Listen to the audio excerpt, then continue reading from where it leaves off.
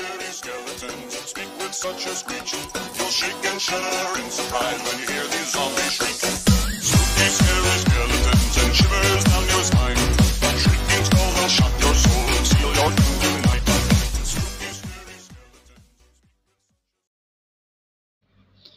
Hello hello guys, welcome to channel Aitense. Sebelum nonton jangan lupa di subscribe karena subscribe itu gratis ya guys.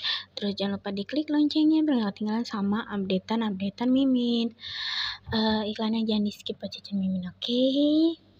Oh, Mimin doubling aja ya komiknya si Zuni ya guys.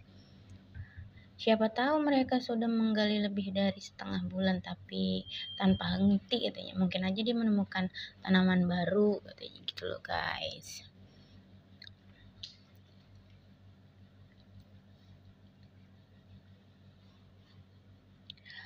Selain buah-buahan dan buah-buahan manis, di mana tanaman yang bisa dimakan katanya. Kalian tidak tahu kan? Aku mengetahuinya. Patrick ini mencari tanaman yang cocok untuk ditanam dalam skala besar katanya gitu guys.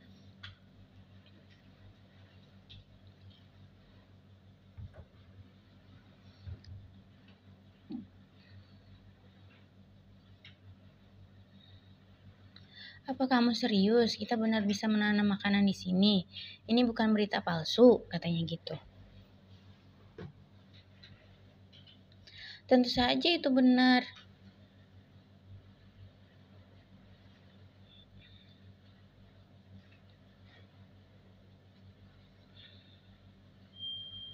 Aku mendengar bahwa para pemimpin klan sering melakukan survei medan akhir-akhir ini, hanya untuk menemukan titik penanaman.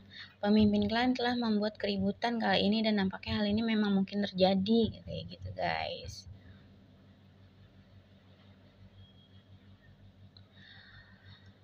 Namun, Stan Tuan Kota selalu berselisih dengan pemimpin klan. Bisakah mereka setuju akan hal sebesar ini? Katanya. Patriak maksudnya gitu, nggak setuju sama uh, Tuan Kota, sama pemimpin klan. Letakkan semuanya di sini, gitu guys. Tapi ada anak buahnya pemimpin kota nih, anak buahnya si Re, para ular kan. Mereka semua adalah anggota tim pengawal Tuan Kota. Tampaknya pemimpin klan dan penguasa kota memiliki pemikiran yang sama tentang masalah ini.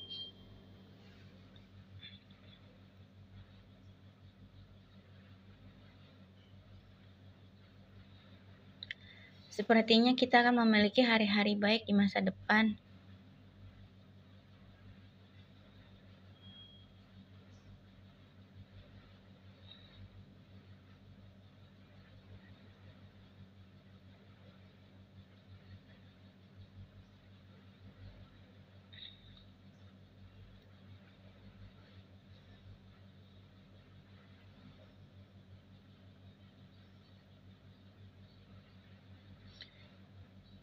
Nih, si anak Hazel lagi makan buah-buahan, guys.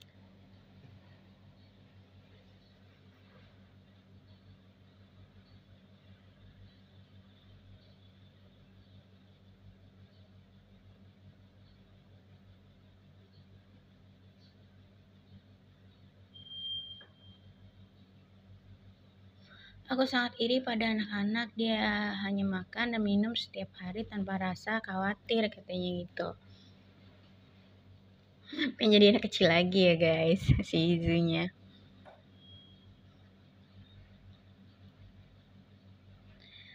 Tidak teridentifikasi katanya nih tanaman ini nih.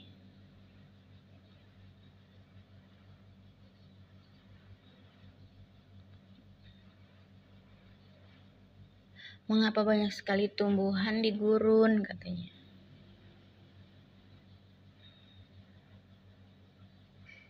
Bukankah ini terlalu banyak? Apa tidak cukup? Kamu telah mengidentifikasi begitu banyak spesies baru-baru baru selama periode ini dan sistemnya harus segera ditingkatkan, katanya gitu guys. Kok bisa semudah itu? Aku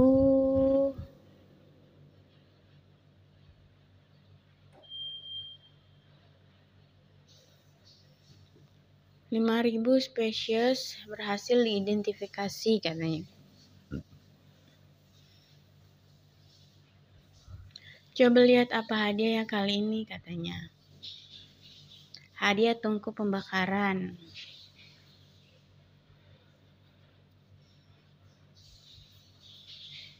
Ini ini peningkatan katanya gitu.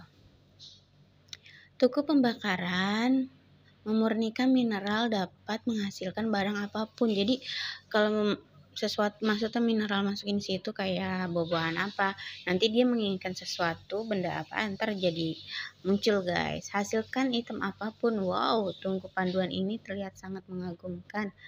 Iya dengan ini selama aku menemukan bahan yang cukup aku bisa membuat senjata baru katanya gitu. Dengan cara ini Deza akan terbantu katanya. Hah? Ini tidak benar katanya gitu. Bena, apakah kamu tidak terhubung dengan sistem? Bagaimana mungkin aku tidak tahu apa itu hadiah peningkatan? Aku selalu berpikir bahwa hadiah itu diberikan olehmu, katanya gitu. Tidak, jiwaku memang berada dalam sistem dan aku bisa mengendalikan sampai batas tertentu, katanya gitu guys.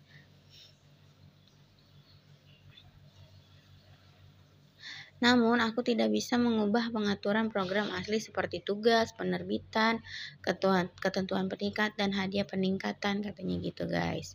Dengan kata lain, kamu sebenarnya adalah pengguna dengan otomatis otoritas besar, katanya gitu. Bisa dibilang begitu. Oke, jangan terlalu memikirkannya, masih banyak hal yang belum diperiksa, katanya. Begitu banyak.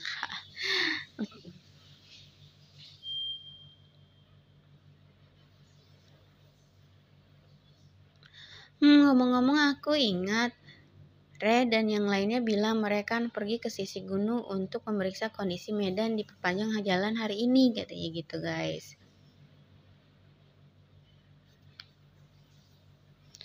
Aku juga bisa mampir untuk mengidentifikasi tanaman di sekitar. Apa yang terjadi di sini aku serahkan padamu.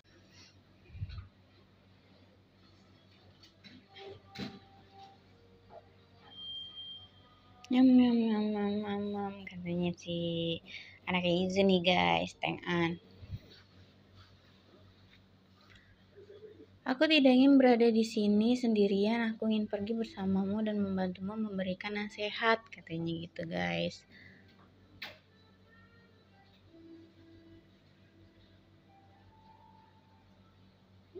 Oke, ayo pergi bersama.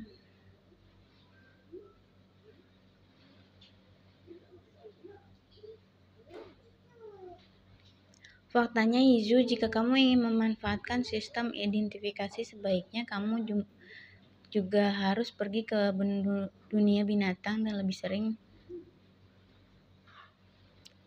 Aku memahami hal ini juga, tapi Zaizai masih muda dan tidak mungkin meninggalkan Zaizai itu bayi ya guys. Terlebih lagi aku tidak cukup kuat sekarang, sungguh merepotkan jika ada seorang yang melindungiku ke mana pun aku pergi katanya. Setidaknya kita harus menunggu sampai anak itu besar. Ya bisa ditinggal ya guys. Kalau begitu mungkin aku bisa pergi bersama Jono dan yang lainnya dengan pikiran tenang. Kiano, Jono ya guys. Kali ini kita sudah ber dihadiahi tungku paduan. Aku sangat ingin tahu apa hadiah untuk peningkatan berikutnya katanya gitu guys. Yizu, menurutmu apakah sistem dapat ditingkatkan sebelum kamu kembali ke Daze? Bagaimana semudah itu? Katanya gitu. Ada syaratnya lagi guys. Peningkatan terakhir adalah mengidentifikasi 500 spesies baru. Kali ini 5000 mungkin peningkatan berikutnya memerlukan identifikasi 50000 spesies baru katanya. Ini terlalu sulit kata si Bena nih guys. Oke okay guys, thanks for watching. Jangan lupa di subscribe, like, and comment. See you, bye-bye. Dan aku punya firasat, kata si Yizu nih guys. Firasat kalau sistem bakal lebih meningkat lagi, maksudnya pengoperasiannya atau cara kerjanya juga ya guys yang bisa berubah. Rubahnya yang sangat mengejutkan, oke? Okay?